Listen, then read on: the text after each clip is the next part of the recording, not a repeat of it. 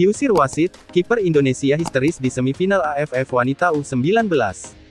Kiper Timnas Putri Indonesia U19 Fani terlihat menangis histeris setelah menerima kartu merah dalam laga semifinal Piala AFF Wanita U19 2023. Timnas Putri Indonesia U19 harus bermain dengan 10 orang ketika laga baru berjalan 4 menit setelah Fani mendapat kartu merah dari wasit Leti Li asal Vietnam.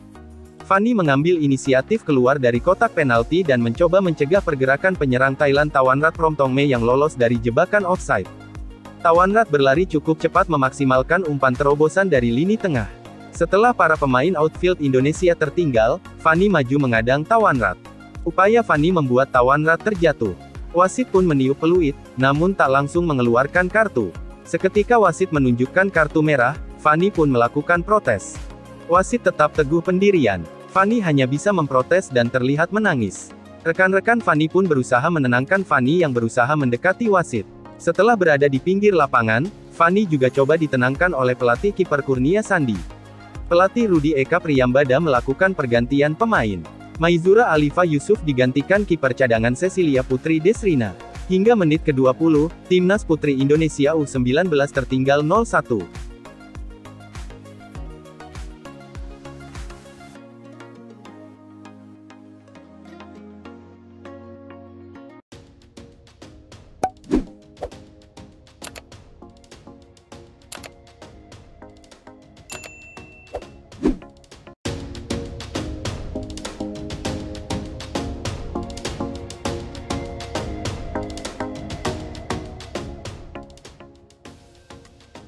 Sain Patinama senang jika gabung klub milik Zlatan Ibrahimovic. Bek kiri timnas Indonesia, Sain Patinama mengaku senang klub yang dimiliki Zlatan Ibrahimovic telah datang memberi tawaran konkret kepadanya.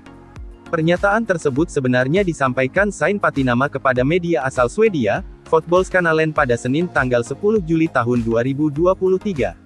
Media tersebut juga mengabarkan tawaran perdana klub Hammarby IF untuk mendatangkan Sain Patinama. Hammarby IF sendiri merupakan klub elit Liga Swedia yang dimiliki mantan bintang timnas Swedia, Zlatan Ibrahimovic. Viking FK telah memberikan dana senilai 2,2 rupiah miliar untuk jasa bek kiri timnas Indonesia. Namun pemilik jasa bek satu caps bersama timnas Indonesia tersebut masih menolak penawaran dari Hammarby IF. Media asal Swedia tersebut masih mengabarkan tawaran dari klub milik Zlatan Ibrahimovic masih berlanjut. Apalagi kontrak sign Patinama tinggal tersisa lima bulan lagi. Bek kiri alumnus Akademi Ajax Amsterdam tersebut kembali menjawab teka-teki masa depannya di klub kebanggaan kota Stavanger tersebut. Sain Patinama mengaku sangat senang mendapatkan tawaran dari klub milik Zlatan Ibrahimovic tersebut. Menurutnya, Hammarby merupakan klub besar dengan reputasi luar biasa di Swedia. Ia juga mengapresiasi minat dari Hammarby atas jasanya. Saya tahu itu, Hammarby adalah klub besar dengan supporter luar biasa, ujar Sain Patinama kepada Fotbollskanalen. Saya tidak akan berbohong. Saya sungguh tersanjung Hamarbi menunjukkan minat kepada saya. Ini memperlihatkan bahwa saya berada di jalur yang benar, lanjutnya. Kabar ini sekaligus mengonfirmasi pernyataan pemain alumnus Akademi Ajax Amsterdam tersebut. Sain Patinama mengaku sudah mendapatkan tawaran konkret dari beberapa klub. Pernyataan tersebut disampaikan pemilik satu caps bersama skuad Garuda tersebut kepada Viking Poden. Meski begitu, ia juga menunggu tawaran kontrak dari Viking FK. Bagi pribadi saya, kontrak memang berakhir, dalam waktu lima bulan, ujar Sain Patinama kepada Viking Poden. Saya belum mendengar penawaran yang konkret dari Viking. Saya belum mendapatkan tawaran kontrak. Ya, tentu saja ada banyak ketertarikan dari beberapa klub saat ini, kau tahu, mereka telah memperhatikan sisa kontrakku yang tinggal lima bulan. Jadi, seperti yang saya katakan, saya belum mendengar apa pun dari Viking dan dari situasi saya, lanjutnya.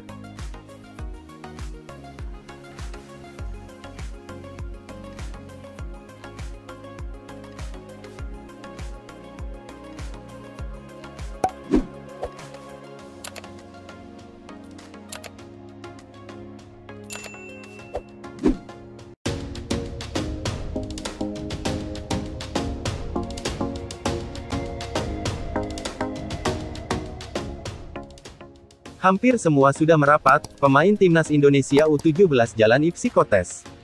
PSSI telah memanggil 34 pemain untuk mengikuti seleksi timnas Indonesia U17 jelang Piala Dunia.